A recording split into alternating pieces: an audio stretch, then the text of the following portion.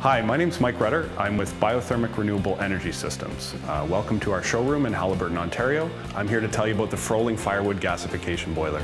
The Froling Firewood Gasification Boiler is really a world leader in firewood boilers. There's nothing else that can come close to it on the market.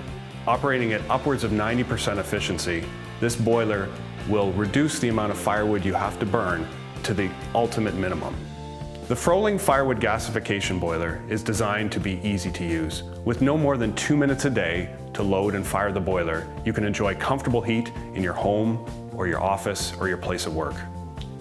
So behind the big red door, you'll find the loading chamber door. And this is the door where you load your 20 inch firewood fuel into. Uh, after loading the fuel, uh, all that's required is to ignite the boiler, let the flue gas creep up, shut the doors and walk away. With the Froling firewood gasification boiler, it's important to talk about the buffer tank. The buffer tank's function is to store extra heat that's produced by your boiler for use later on. Any firewood boiler is going to continue to produce heat as long as there's firewood in the system. And if you don't have somewhere to put that heat, it's going to be wasted. The buffer tank allows you to capture that heat and store it for use later on. This is critical if you want a boiler that achieves 90% system efficiency or greater. Because of the buffer tank, we can design a system that you only have to load and fire once a day. I'm going to take you through the lighting procedure for the Froling firewood gasification boiler. Uh, when we open the big red door, you'll hear the fan come on. The purpose of that is if there is any fire going inside, it will pull any smoke out of the house. In this case, there's no fire going, so we can turn the fan off. This is the uh, loading chamber door. This is where we put the firewood in. This is the ignition chamber door. And behind this door is the access to the gasification chamber.